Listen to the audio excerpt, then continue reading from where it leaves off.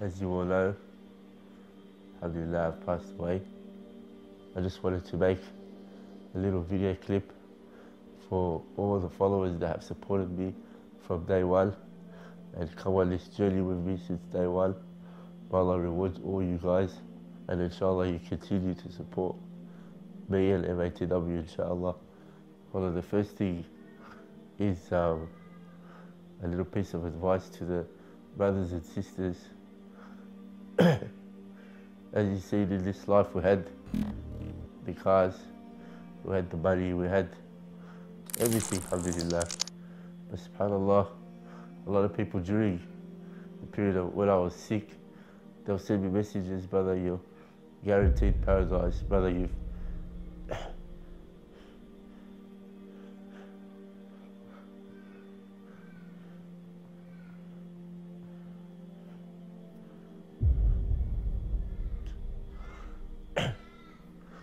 Uh,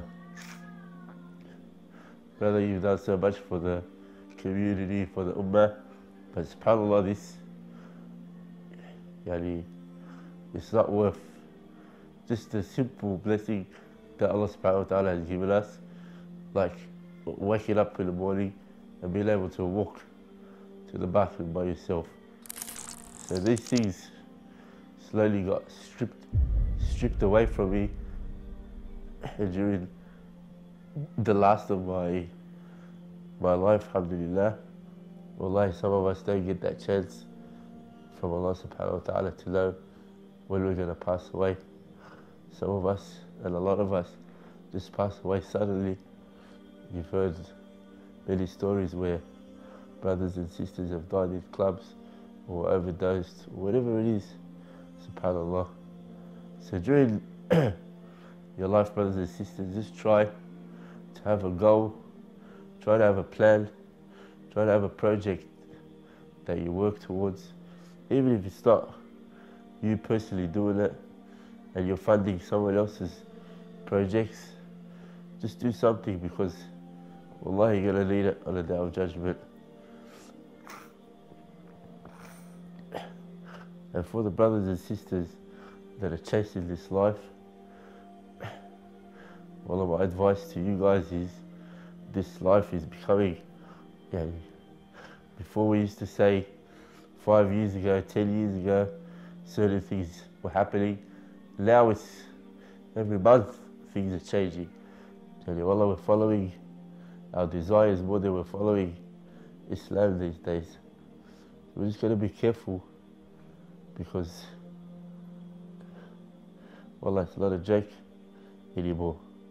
Our kids are getting affected. Everyone's getting affected.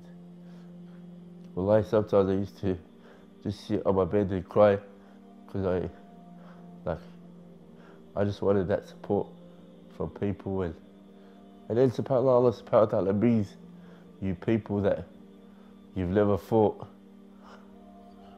they'll be a part of your life or friends or you didn't even know they existed when I used to travel, I used to meet certain people. A lot of them actually went out of their way to come all the way from Dubai or the UK or wherever it was to come to actually visit me when I was sick or in hospital. Or that's that's love for the sake of Allah subhanahu wa ta'ala. No photos, no nothing like that. Just come to visit. 14 hour uh, flight just to see if I'm okay, subhanAllah.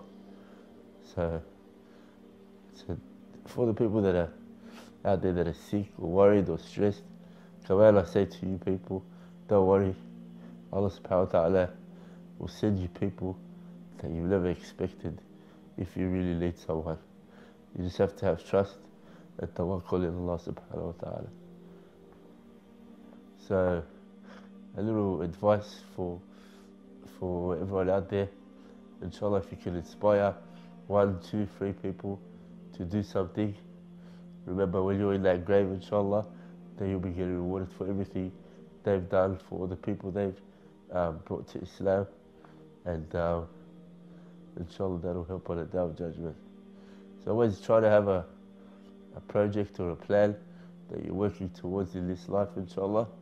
Inshallah, that'll help us إلى grave اللي هي after. جزاك الله خيرا والسلام عليكم.